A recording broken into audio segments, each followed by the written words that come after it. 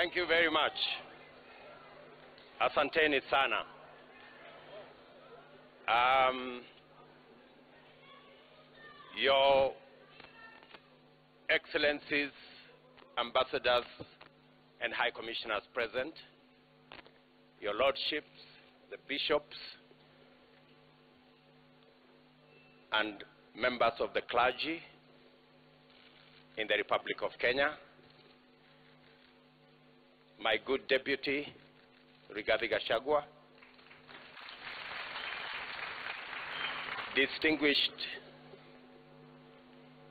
members of the Independent Electoral and Boundaries Commission, led by Chairman Wafula Chebukati, uh, fellow countrymen and women, good evening. It is a wonderful evening, and I want to thank God that we are here this evening to witness this momentous occasion as the people of Kenya restate what is in Article 1 of the Constitution of Kenya, that all sovereign power belong to the people of Kenya. I want to thank God for getting us to this point. I want to thank God that today we have concluded this election. I know that there were predictions that I won't get to the ballot. There were predictions that we won't get here. But because there is a God in heaven, we're here. And I want to, in a very special way, say and confess that without God, we wouldn't have been here. My gratitude also goes to the people of Kenya, the millions who listened to us, the millions who participated in our campaigns peacefully, the millions who turned up to vote for us on 9th of August, and the millions who have waited patiently until this announcement has been made. Specifically, I want to thank my fellow countrymen and women because we have raised the bar in this election. Jointly, we have raised the bar. This election was much about the issues than the ethnic configurations that have always informed our elections. Gratitude goes to the millions of Kenyans who refused to be boxed into tribal cocoons. I am a very proud Kenyan this evening that the people of Kenya have raised the bar on us who are seeking leadership in our country.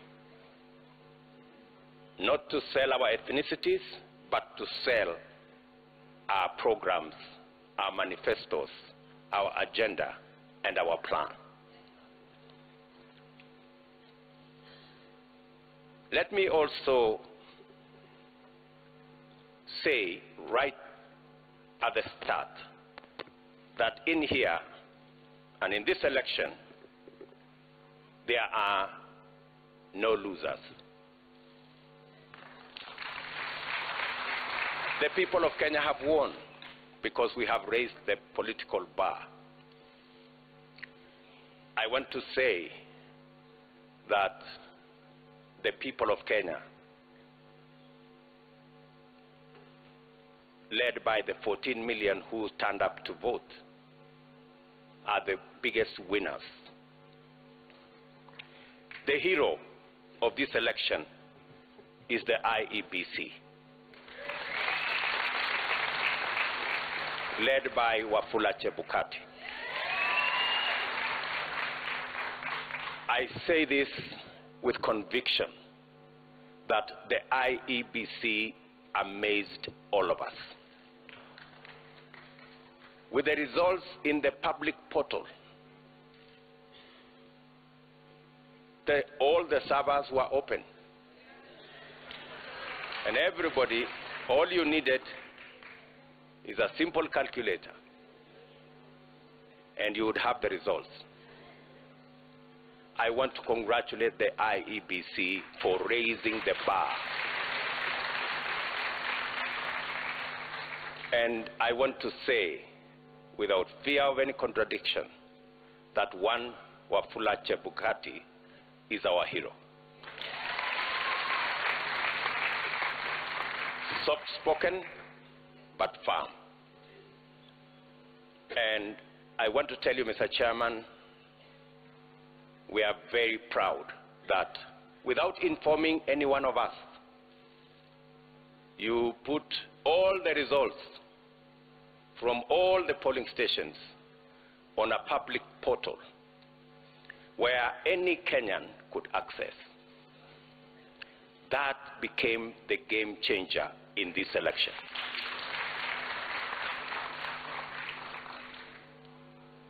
Let me also, at this point in time, thank our partners, the religious leaders, who were part of this process right from the beginning. For the first time, we saw religious leaders spend time at this Darling Center and prayed for this process. I am sure their prayers will not be in vain. I also want to thank our development partners, our diplomatic community, and all the observers who came in their thousands to be part and parcel of the process right from almost two weeks ago to its conclusion in this auditorium. To all of them, I tell them the people of Kenya are eternally grateful that you took your time, valuable time, to watch over this process so that the right thing can happen. I want to thank my worthy competitor, the Honorable Raila Odinga, for a campaign that we all dwelt on issues and we tried to sell an agenda to the people of Kenya. I want to promise that I will work with all elected leaders and all leaders in Kenya so that we can fashion a country that leaves nobody behind. What the people of Kenya have done, they have assigned us responsibilities. There will be those of us who will be in the executive but there will be those of us who will oversee what we do in the executive. Both responsibilities in government and in the opposition are important for the people of Kenya.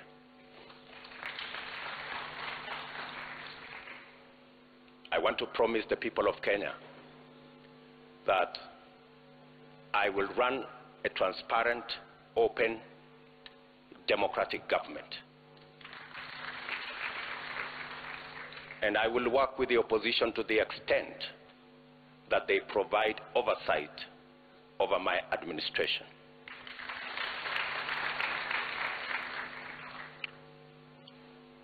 Let me also, at this point in time, acknowledge my boss, the President of the Republic of Kenya.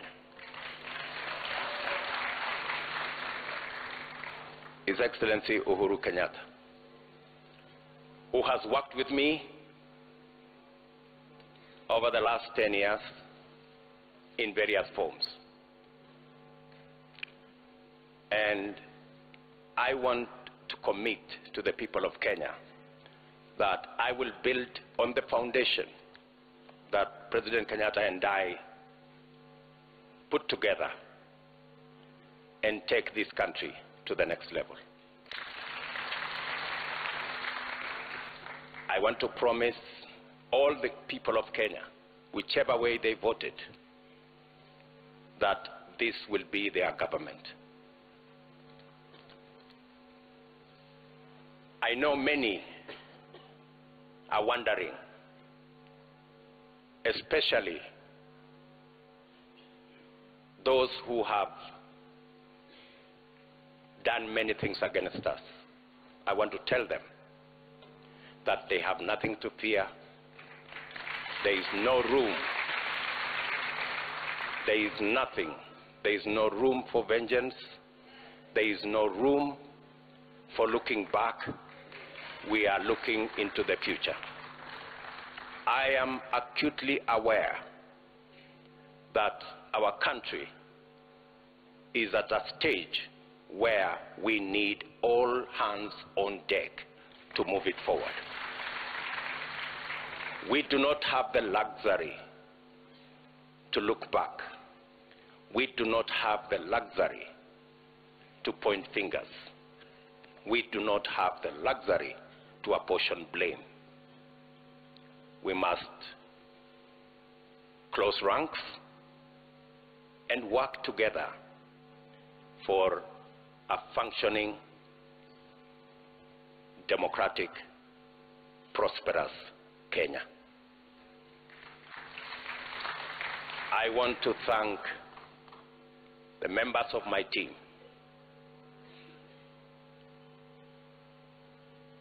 starting with my wife and family.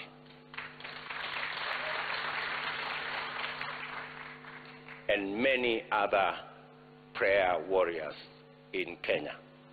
And I want to confess that I have been prayed into victory.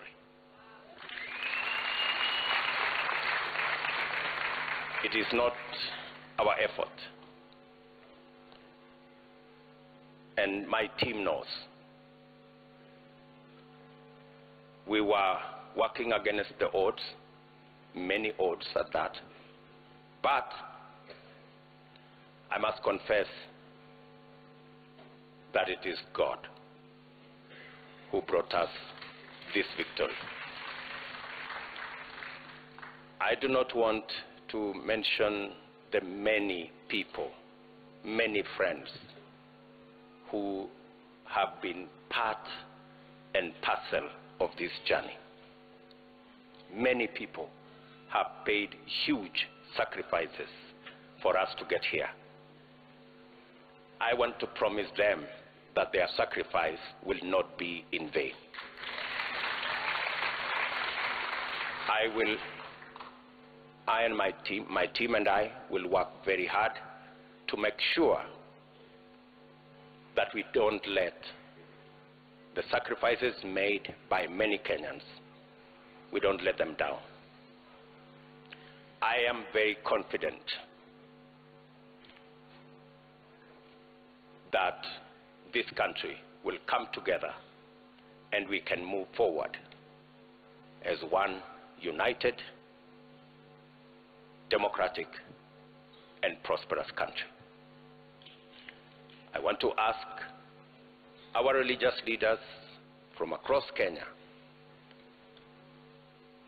to pray for us and to pray for the unity and prosperity of our country. Um,